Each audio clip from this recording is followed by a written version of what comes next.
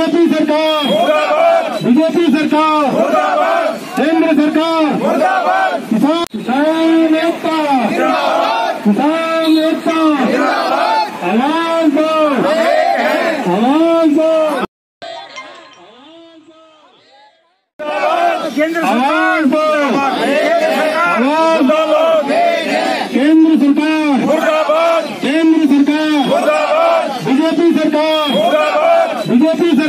सरकार केंद्र सरकार।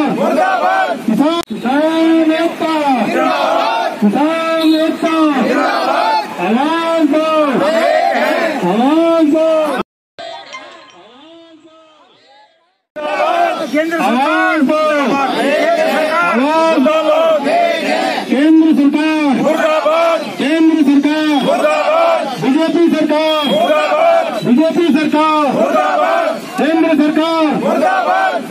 부산의 땅! 부산!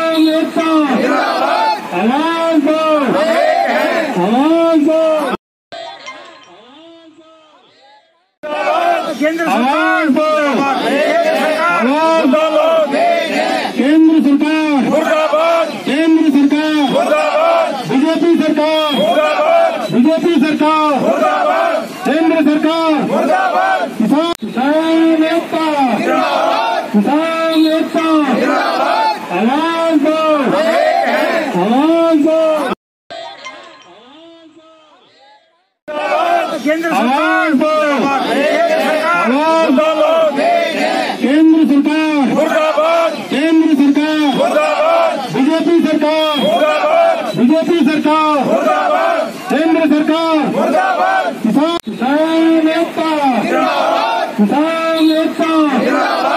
Hello?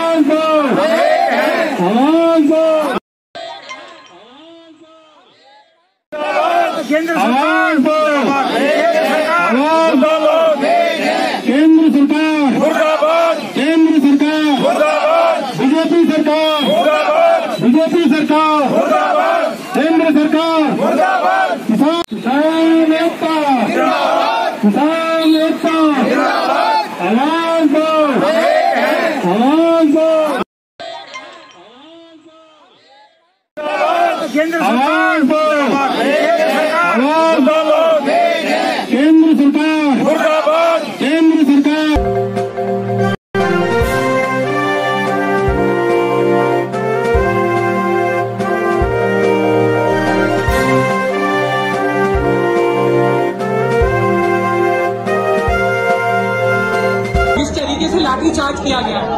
हम पे लाठीचार्ज वगैरह सब ठीक है। हमारे खिलाफ जो भी कार्रवाई करें, करने दें। लेकिन इनका व्यवहार जो उस पीड़िता के परिवार के साथ रहा है, वो शर्मनाक है और ऐसा अन्याय हमने देखा नहीं है कि जो हिंदू धर्म के रखवाले अपने आप को कहते हैं, जो सरकार हर छोटी चीज़ पर धर्म का नाम लेती है, उस सरकार ने एक पिता को अपनी बेटी की चिता को जलाने नहीं दिया। ये अन्याय है। और ये व्यवहार है उनका उत्तर प्रदेश के वासियों के साथ।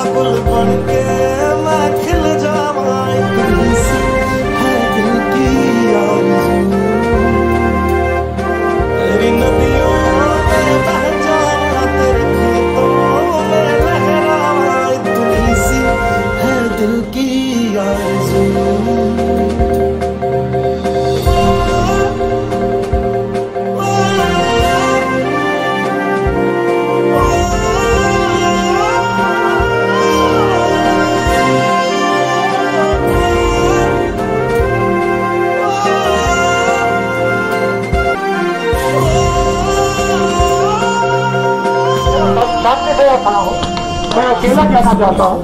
144 कहता है पब्लिक असेंबली मैं पब्लिक असेंबली नहीं करना चाहता हूँ। मैं अकेला पैदल यहाँ से हाथरस जाना चाहता हूँ। किस बेसिस पे आप मुझे गिरफ़्तार कर रहे हैं ये मुझे बता दीजिए। किस धारा में? किस धारा एक सेकंड एक सेकंड किस धारा में आप मुझे अरेस्ट कर रहे हैं? मैं अकेला जाना चाहता हूँ। तेरी मिट्टी में मिल जावा गुल बन के मैं खिल जावा इतनी सी है दिल की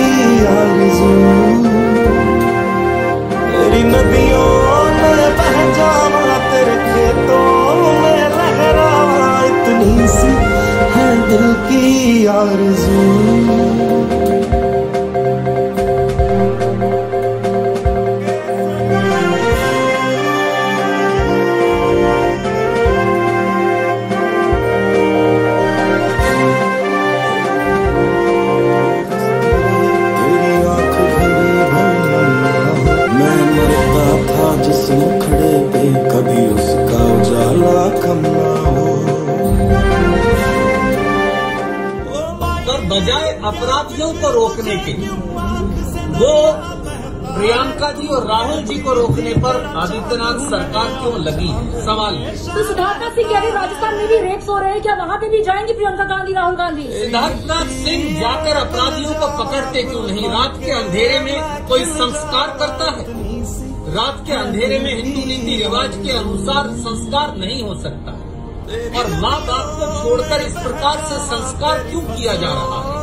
क्यों अत्याचार किया जा रहा क्योंकि सिर्फ़ क्योंकि वो दलित है, सिर्फ़ क्योंकि वो गरीब है, सिर्फ़ क्योंकि वो एक बेटी है, उत्तर प्रदेश और हिंदुस्तान की। जब ऐसा हादसा होता है तो सरकार की ज़िम्मेदारी होती है कि वो परिवार को, पीड़िता को पूरी तरह से सहायता दे, उनकी सपोर्ट करे, उनके लिए न्याय दिलवाए। उसके बजाय उल्टा उन्होंने उसका एकदम विपरीत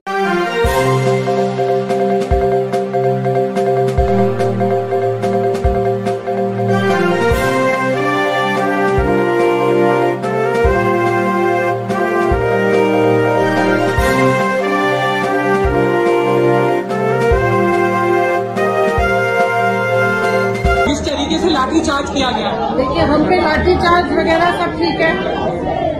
हमारे खिलाफ जो भी कार्रवाई करें, करने दें। लेकिन इनका व्यवहार जो उस पीड़िता के परिवार के साथ रहा है, वो शर्मनाक है और ऐसा अन्याय हमने देखा नहीं है कि जो हिंदू धर्म के रखवाले अपने आप को कहते हैं, जो सरकार हर छोटी चीज़ पर धर्म का नाम लेती है, उस सरकार ने एक पिता को अपनी की चिता को जलाने नहीं दिया। ये अन्याय है।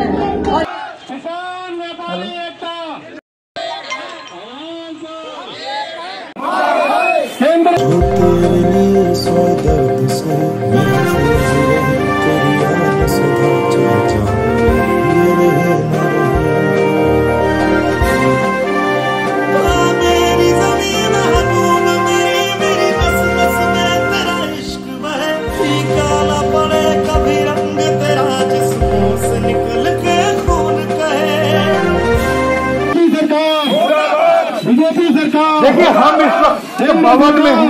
और तस्वीरों में हम आपको दिखा रहे हैं कि किस तरीके से कांग्रेस पार्टी के वरिष्ठ नेता है, पूर्व मंत्री है। डॉक्टर एम एल रंगा उनके नेतृत्व में आज तमाम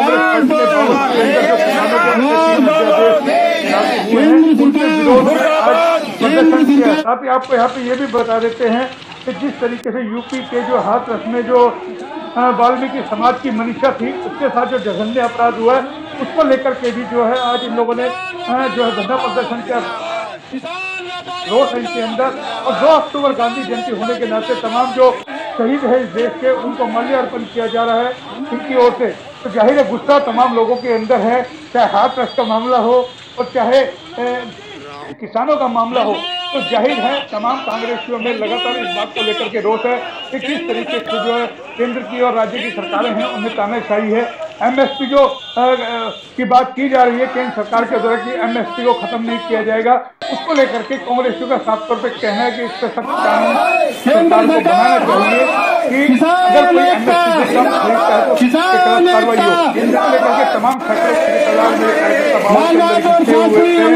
जो अंबेडकर के वहाँ से तमाम छात्रों निकाला है। आप तस्वीरों में देख रहे हैं लगातार इन लोगों के अंदर बेहद गुस्सा है इस बात को लेकर के है। कि आखिर जो ये देश प्रदेश के अंदर हालात और स्थिति है कानून व्यवस्था को लेकर के हो। चाहे बेरोजगारी को हो।